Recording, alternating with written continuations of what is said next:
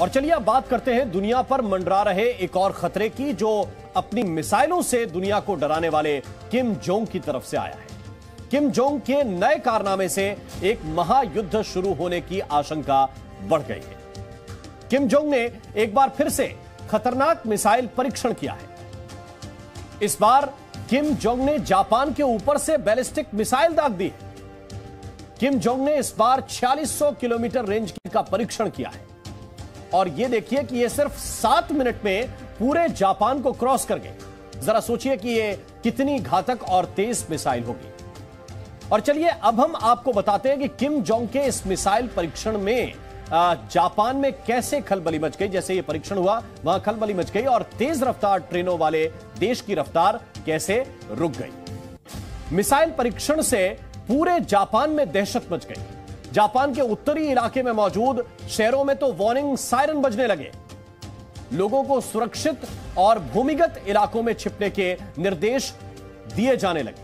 उत्तरी क्षेत्र में ट्रेनों का परिचालन भी अनिश्चित काल के लिए बंद कर दिया गया। और अब जापान और साउथ कोरिया में किम जोंग को नतीजे भुगतने की, जापान ने जो है किम जोंग को नतीजे भुगतने की चेतावनी दे दी है।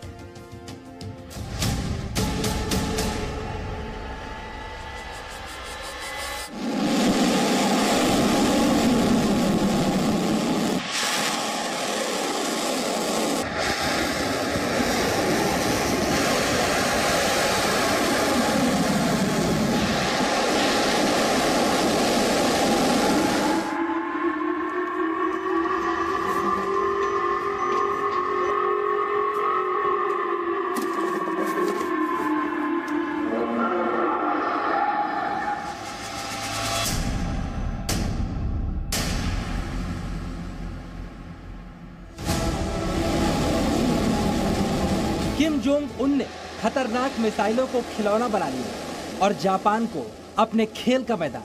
किम जोंग उन ने एक बार फिर से घातक मिसाइल छोड़ी, जिसने इस बार पूरे जापान को पार मिसाइल जापान के आसमान में थी और जापान की धरती पर खलबली मच गई।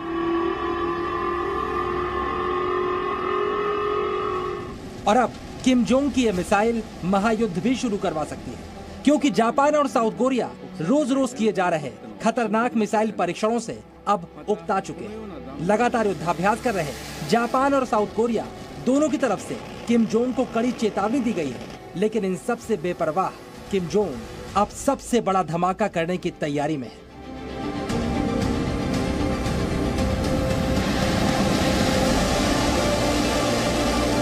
किम जोंग का सबसे खतरनाक प्लान क्या है? कि इस आशंका को लेकर सारी दुनिया डरी हुई है। और किम जोंग जापान और दक्षिण कोरिया को निशाना बनाकर बार बार क्यों मिसाइल दाग रहे हैं? हम आपको बताएँगे, लेकिन उससे पहले आप समझिए, किम जोंग ने जो मिसाइल जापान के ऊपर से दागी, वो कितनी शक्तिशाली थी। और जापान में इस मिसाइल के एंट्री के बाद क्या क्या हुआ? जापान के मुताबिक, नॉर्थ कोरिया ने उनके क्षेत्र में अब तक की सबसे शक्तिशाली मिसाइल का परीक्षण किया नॉर्थ कोरिया से सुबह सात बजकर बाईस मिनट पर मिसाइल दागी गई। जापान को यह मिसाइल सात बजकर उनतीस मिनट यानी सिर्फ़ सात मिनट में क्रॉस कर गई सात बजकर चवालीस मिनट पर यह मिसाइल समंदर में जापान के एक्सक्लूसिव इकोनॉमिक जोन में गिरी। इस मिसाइल की रेंज 4,600 किलोमीटर थी। जापान का दावा है कि नॉर्थ कोरिया का यह सबसे लंबी दूरी का मिसाइल टेस्ट है और सिर्फ़ 10 दिनों के अंदर किम जोंग ने यह पांचवा मिसाइल परीक्षण किया है। फ़िलहाल जापान किम जोंग के इस मिसाइल परीक्षण से बौखला गया है क्योंकि यह सीधे सीधे जापान की संप्रभुता को चुनौती है あの先ほど、えー北朝鮮が弾道ミサイルを発射し、えー我が国上空を通過し、太平洋上に落下あしたとみられます。まあ、最近の度重なる弾道ミサイルの発射に続く暴挙であり、えー強く非難をいたします。 चलिए अब हम आपको जापान के प्रधानमंत्री फुमियो किशिदा के इस गुस्से की वजह बताते हैं जो आप जापान के हाल को देखकर भी समझ पाएँगे। जैसे ही नॉर्थ कोरिया से दागी गई मिसाइल जापान के इलाके में आई, वैसे ही पूरे जापान के कई इलाकों में वार्निंग के सायरन बजने लगे। लोगों को सुरक्षित जगहों पर छिपने की चेतावनी दी गई। यही नहीं, ट्रेनों को भी रोक दिया गया। इसके अलावा देश के उत्तरी हिस्से में ट्रेन का संचालन भी अस्थायी रूप से निलंबित कर दिया गया। देश के तमाम न्यूज़ चैनल्स में ब्रेकिंग न्यूज़ चलाकर ये खबर जापान के लोगों तक पहुंचाई गई। जापान एक लौता देश है, जिसने परमाणु बम की ताकत और तबाही दोनों देखी है। ऐसे में नॉर्थ कोरिया से आ रही मिसाइल से दहशत का आलम क्या होगा, समझा जा सकता है। गुस्सा सिर्फ़ जापान में नहीं फूटा, साउथ कोरिया के राष्ट्रपति भी उबल गए और किम जोंग को पलटवार की चेतावनी दे 本日7時22分ごろ北朝鮮内陸部から弾道ミサイル1発を東方向に発射しました चलिए अब आपको ये भी समझाते हैं कि किम जोंग लगातार मिसाइल क्यों दाग रहे हैं और किम जोंग का आगे का प्लान क्या है अमेरिका के सबसे खतरनाक एयरक्राफ्ट कैरियर रोनाल्ड रिगन की दक्षिण कोरिया में एंट्री के बाद से ही किम जोंग का पारा चढ़ गया था और 2 अक्टूबर को जापान सागर में हुई, अमेरिका, जापान और दक्षिण कोरिया की एंटी सबमरीन ड्रिल से किम के गुस्से का ज्वालामुखी फट गया।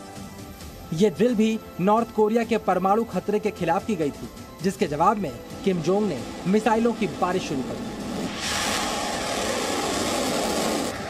लेकिन जापान और साउथ कोरिया से आ रही खबरों के मुताबिक, एक दो दिन के अंदर किम जोंग परमाणु परीक्षण भी कर सकते हैं।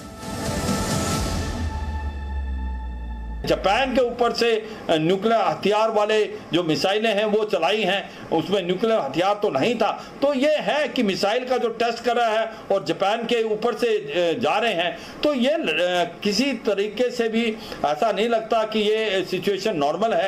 ये एक प्रकार सिचुएशन जो आउट ऑफ़ कंट्रोल हो सकती है। इसमें कोई शक नहीं, जिस प्रकार से नॉर्थ कोरिया किंग जोंग यून जो उसके लीडर हैं, जिस प्रकार से वो मैवरिक हैं, कुछ भी कर सकते हैं।